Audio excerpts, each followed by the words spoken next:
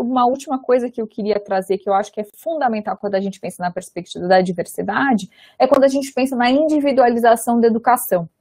Eu me preocupo muito, né, que existe uma, um, digamos assim, é, um marketing em torno dessa ideia da individualização da educação, no sentido de que é, nós poderíamos, então, atender de forma mais focada a cada um dos estudantes. Mas quem vai atender de forma focada a cada um dos estudantes? A meu ver, o projeto é de automatização da, da educação. Então, você teria, por exemplo, algoritmos que poderiam trabalhar nessa individualização da educação.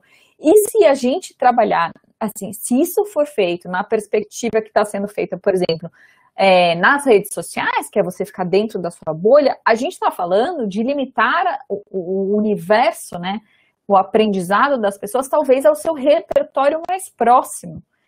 Então, assim, talvez a gente não vá é, educar pessoas sobre matemática avançada, é, a depender da, da, do universo que ela tem, porque ela não buscou esse conteúdo ativamente. Então, eu me preocupo muito com isso.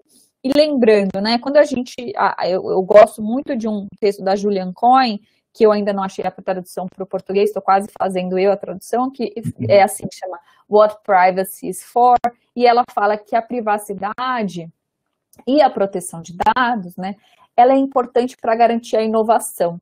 E eu, como trabalhei muitos anos além é, do Intervoz no Instituto Alana, eu faço uma, um paralelo, assim, uma reflexão no sentido de que é, essa diversidade de fontes e a proteção das suas informações para que o seu universo não seja explorado, é, é, limitado, né, para você não ser encarcerado dentro de um, de um, universo ao qual você já pertence, é, isso permite o desenvolvimento da personalidade, quer dizer, permite a inovação humana.